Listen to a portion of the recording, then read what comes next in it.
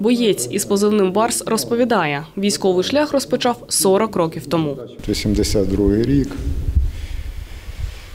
Спочатку я попав в прикордонні війська, потім е, школа спецназу прикордонних військ півроку. Е, Це було в Вірменії, місто Арташат. От. Е, Потім Далекий Схід, попав на річку Амур по гранзаставу. Але через півтора місяця е, трапилось так, що я в складі е, розвідки, ну зараз це вже не є таємницею.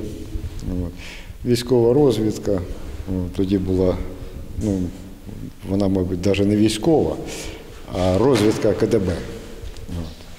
Спецпідрозділ, в складі цього спецпідрозділу майже півроку я був в Афганістані.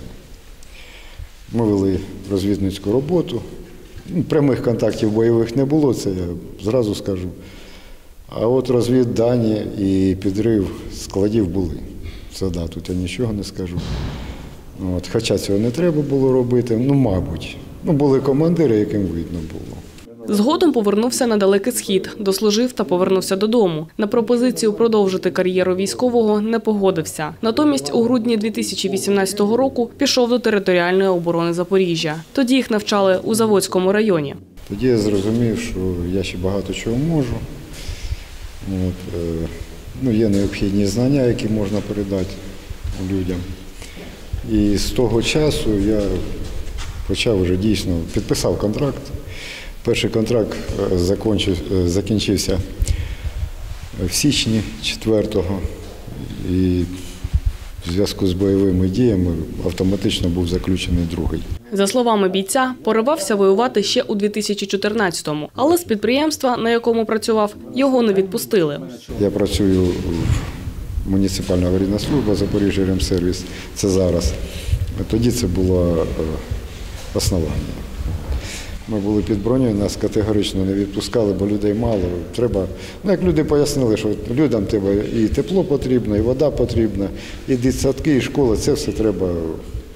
Якщо буде важко, тоді ви вже підете. Ну, вийшло так, що вона якось затихла, затихла, затихла до, до цього року. Ну, а тут уже вибору не було. Треба йти та й все.